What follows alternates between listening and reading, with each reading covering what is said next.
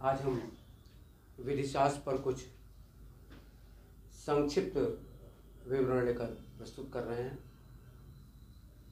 जैसे कि परीक्षाएँ एमसीक्यू पैटर्न पे हो रही हैं तो जहाँ पहले विधिशास्त्र को बड़े ही विस्तृत रूप में पढ़ा जाता था, अब यहाँ पर इस बात को ध्यान में रखना होगा कि उन महत्वपूर्ण बिंदुओं को संक्षिप्त करके देखा जाए। तो उसी प्रयास में थोड़ा देखिए कि कितने कम समय में कितनी उपयोगी चीज़ों को निकाला जा सकता है। तो सबसे पहले हम लोग देखने करेंगे कि प्रयास की जोरस जोरस्प्रूडेंस में जो सिलेबस कवर करना है तो सबसे पहले ध्यान देना है कि बहुत सी इसमें विधि शास्त्र चुकी है जोरस्प्रूडेंस तो परिभाषाएँ भी आती हैं तो सभी परिभाषाएँ याद करना संभव नहीं होता है। लेकिन इतना अवश्य ज़रूर है कि उन परिभाषाओं में कुछ खास शब्द प्रयोग किए जाते हैं। इंग्लिश में जो कीवर्ड्स हैं, अगर उन्हें ध्यान रख लिया जाए और पूरी परिभाषा नहीं भी याद है तो एम पैटर्न में परिभाषा तो लिख के आएगी, लेकिन किसने कही है ये जानना होगा। तो विश्वास में खासियत ये है कि जितने भी विधिशास्त्री हैं, वो विशिष्ट हैं यूनिक हैं, और जिस शब्द का प्रयोग करते हैं, उनके अतिरिक्त कोई दूसरा नहीं करता है। तो ये देखते हुए कुछ परिभाषाओं का पहले विवेचन करते हैं और देखते हैं परीक्षा में वो कहाँ तक सफलता प्रदान करने में आवश्यक है। तो देखिए, सबसे पहले जब हम देखते हैं, नेचुरल लॉ के अकॉर्डिंगली चलेंगे कुछ परिभाषाएँ देखते हैं तो अल्पियन की एक परिभाषा बहुत पूछी जाती है, जिसमें खासियत क्या है कि अल्पियन की परिभाषा कितनी भी बड़ी क्यों ना हो, उसमें दो वर्ड्स यूज़ किए जाएँगे।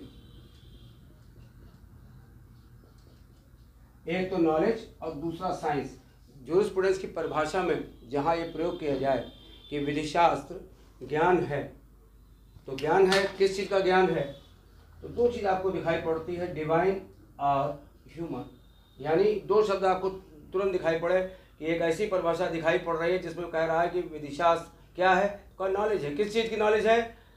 डिवाइन यानी दैवीय विधियों की और मानवीय विधियों के ह्यूमन तो ये एक पूरी परिभाषा अगर नहीं भी याद है तो अल्पियन के अलावा अल्पियन अल्पियन, इनके अलावा और कोई व्यक्ति नहीं है जो इस प्रकार की परिभाषा देता है कि विधिशास्त्र दैवी और मानवीय विधियों का ज्ञान है। और साइंस किसका है? जस्ट और अनजस्ट। उचित और अनुचित का विज्ञान है। ये दो शब्द पूरे विधिशास्त्र आप पढ़ेंगे तो कोई अन्य व्यक्ति जो स्टूडेंट्स में इसकी परिभाषा नहीं देता है।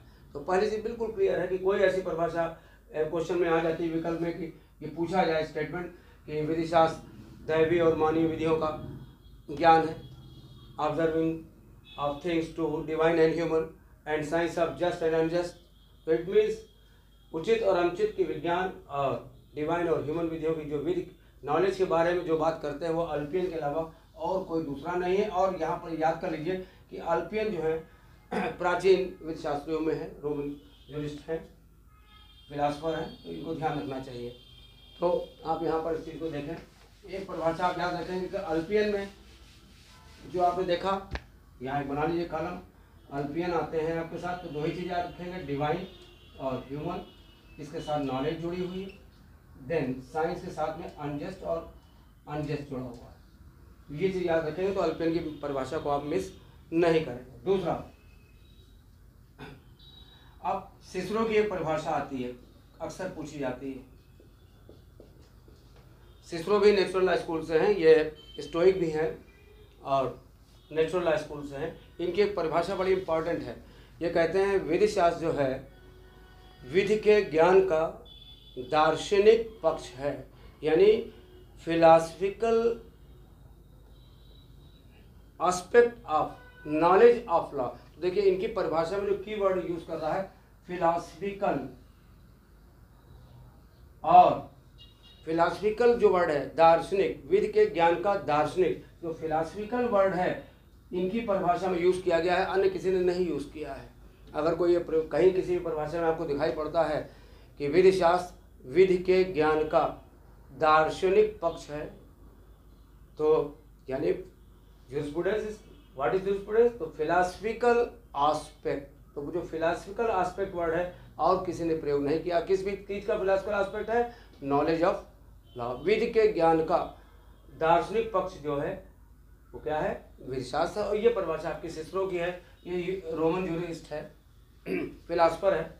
तो आप इसकी परिभाषा को याद करने के लिए, जैसे एल्पियन में याद किया था कि डिवाइन और ह्यूमन उसी तरह से इनको देखा, सिसरो को, कि फिलासफिकल यानी दार्शनिक पक्ष यानी फिलासफी की बात करते हैं। तो आप इसको देख सकते हैं। दूसरा एनालिटिकल स्कूल की ओर जब चलते हैं,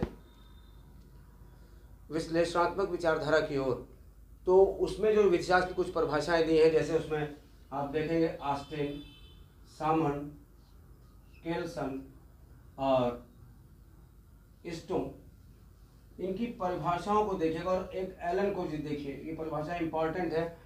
इनकी परिभाषाएँ याद करना मुश्किल पड़ता है सारी, लेकिन समय कम हो तो कीवर्ड्स अगर दिमाग में रख लिए जाएँ, केवल अगर वो नोट याद है, जैसे डिवाइन और ह्यूमन जैसे सिस्रो में फिलासफिकल आस्पेक्ट अब आस्टिन को देखिए।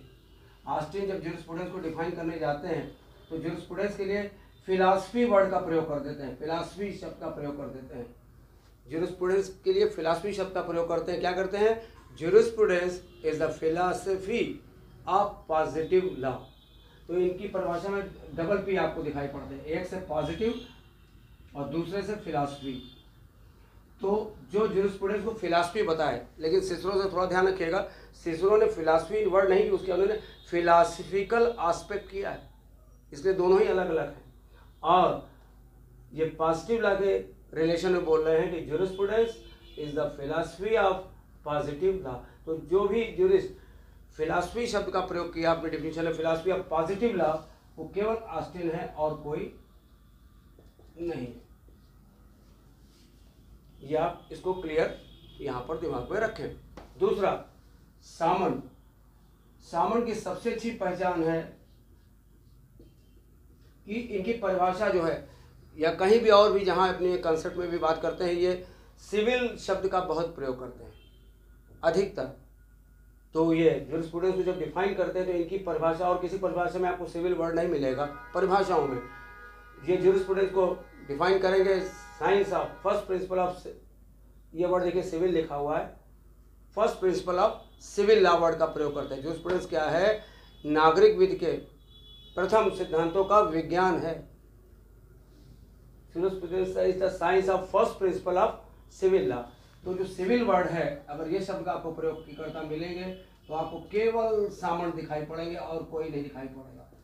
परिभाषा भले आपको नहीं याद है, लेकिन अगर ये वर्ड दिमाग में रह गए philosophy of positive law civil शब्द का प्रयोग तो सामन के साथ तो आपकी परिभाषाओं में कोई प्रॉब्लम नहीं होगी, क्योंकि एमसीक्यू में सामान्यतः तीन, चार, पाँच परिभाषाओं में से जो दी गई, इसमें दो या तीन, दो परिभाषाएँ आ जाती हैं पढ़ने के लिए आपको। अब केल्सन केल्सन की जो विश्वास की परिभाषा है, ज़्यादा प्रचलन में नहीं होती कोर्स में। लेकिन केल्सन की जो पहचान है, वो दो शब्दों से की जाती है। ये नॉर्म नॉर्म या नॉर्मेटिव शब्द का प्रयोग करते हैं। नॉर्म या हायरकी दो शब्दों का प्रयोग अक्सर होता है। तो इनकी जो विधि शास्त्र की परिभाषा है, वो कहते हैं jurisprudence is the hierarchy of normative science ये दो वर्ड आपको दिखाई पड़ रहे हैं, तुरंत ही नॉर्मेटिव नॉर्मेटिव की जो हिंदी होती है, मानात्मक होती है। मानात्मक और हायरकी मन होता है सोपान तंत्र विधि शास्त्र मानात्मक संबंधों का सोपान तंत्र है। तो इंग्लिश में केवल एक वर्ड इसमें याद करना पड़ता है, नॉर्मेटिव साइंस। तो नॉर्मेटिव साइंस और कोई वर्ड दूसरा प्रयोग नहीं करता है विश्वास की परिभाषा के संबंध में। तो कैल्सन को पहचानने के लिए आप नॉर्मेटिव शब्द का सहारा ले सकते हैं। कि अगर किसी परिभाषा में नॉर्मेटिव शब्द का प्रयोग किया गया है तो निसंकोच आप कैल्सन के साथ जा सकते हैं। अब प्रोफेसर स्टोन को देखिए। Professor stone.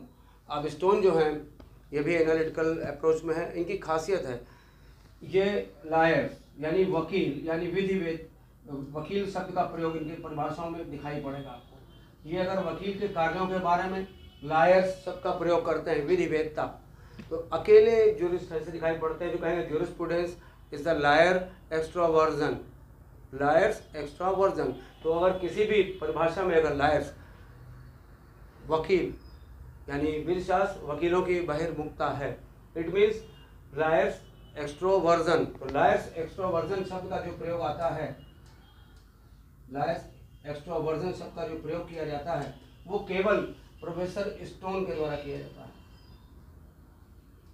और कोई नहीं करता है। तो ये आप अगर ध्यान में रखेंगे तो बिल्कुल क्लियर रहेगा। तो देखिए एनालिटिकल अप्रोच में आस्टिन फिलासफी ऑफ़ पॉजिटिव के साथ में पकड़ में आ जाते हैं। उसी तरह से सामन सिविल लॉ के संदर्भ में जाने जाएँगे। केल्सन के लिए आप नॉर्म, नॉर्मेटिव रिलेशन को याद रखेंगे। उसी तरह से स्टोन जी के लिए आप जो हैं, वकील शब्द या हिंदी में और वरना लायर्स एक्स्ट्रोवर्जन से पहचान लेंगे। परिभाषा बहुत बड़ी बड़ी अगर नहीं याद कर सकते, केवल एक कीवर्ड के साथ अपने ध्यान में रखा जा सकता है। फिर प्रोफेसर हॉलैंड। हॉलैंड की परिभाषा में एक शब्द बड़ा कामल है, फॉर्मल साइंस। Formal science. तो अब जूरिस्प्रूडेंस को ये फॉर्मल साइंस कहते हैं। जैसे कि आस्टी ने फिलासफी ऑफ़ पॉजिटिव कहा इन्होंने सिविल लॉ के बारे में कहा, इन्होंने नॉर्मेटिव साइंस के लिए कहा, इन्होंने लायर एक्सट्रोवर्जन के लिए कहा।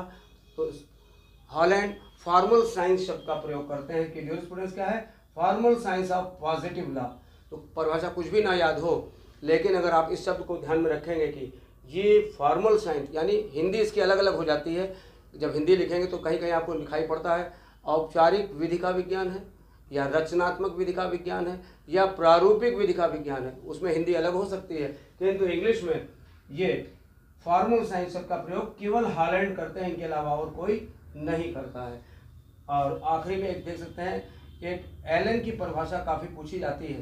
प्रोफेसर सी के एलन की ये काफ़ी, इनके बारे में आप देखिएगा इनकी बुक भी काफ़ी फ़ेमस है, प्रोफेसर सी के एलन की, लाइन मेकिंग। कभी कभी इनकी बुक भी कंपटीशन में पूछी जाती है किस किसने लिखी है लाइन मेकिंग इनकी परिभाषा में जो एक शब्द प्रयोग किया जाता है साइंटिफिक सिंथेसिस साइंटिफिक सिंथेसिस वैज्ञानिक संश्लेषण।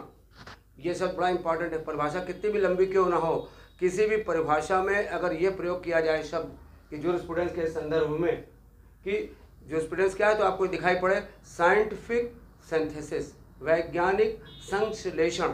तो इस शब्द का प्रयोग केवल प्रोफेसर सी के एलन करते हैं, जिससे आप जान सकते हैं कि परिभाषा इसमें दी है। तो देखिए, हमने इसमें आपको बहुत ही शॉर्ट में जो परिभाषाएँ आपको बताई, नेचुरल लॉ से दो परिभाषाएँ जिसमें आपने देखा अल्पियन को। अल्पियन को आपने पहचान लिया केवल नॉलेज और साइंस से, क्योंकि नॉलेज के बारे में उन्होंने दो वर्ड यूज़ किए, डिवाइन और ह्यूमन बींग यानी जो स्टूडेंट्स दैवी और मानवीय विधियों का ज्ञान है।